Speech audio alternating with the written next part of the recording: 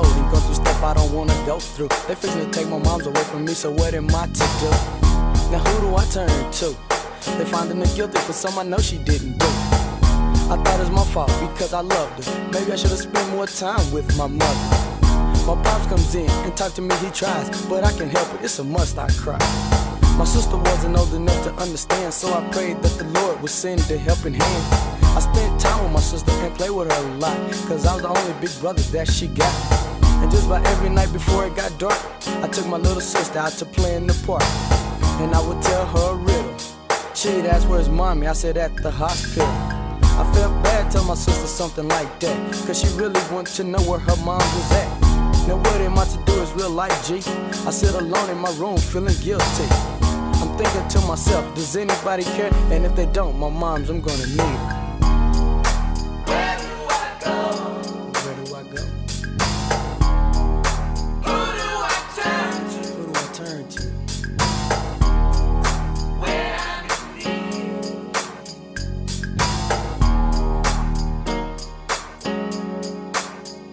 Just finished eating, watching the six o'clock news. I heard what I done heard and it done gave me the blues.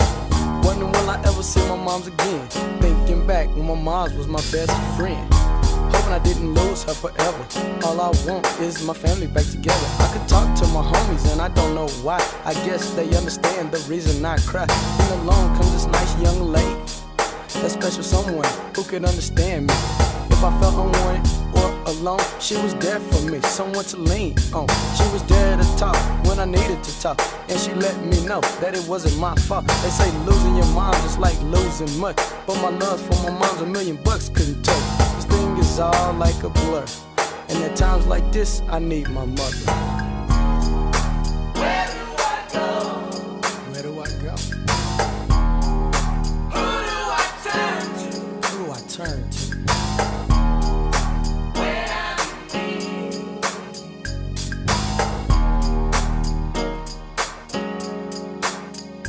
15 years old, and everything is cool. I ain't being no fool, I'm a freshman in high school. It's pretty big, but not as big as I thought it was. I'm chilling in the comments, getting plenty of love.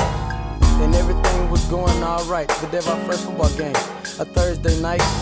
They found my mom guilty once again, and it made me think the world was coming to an end. Like weights on my back, it got heavy, and all I could think about is who would understand me. All I could do is break down and cry. And still to this day, I ask myself why. I tell myself my mom would never do that, but at least I know exactly where she's at. People try to help me and give me devoted time, but they don't understand. All I need is my mom. Being with my mom is what I prefer, and every day of the week, I really do need it. Losing a mom just might kill you. I didn't understand at first, but now I feel you. Where do I go? Where do I go?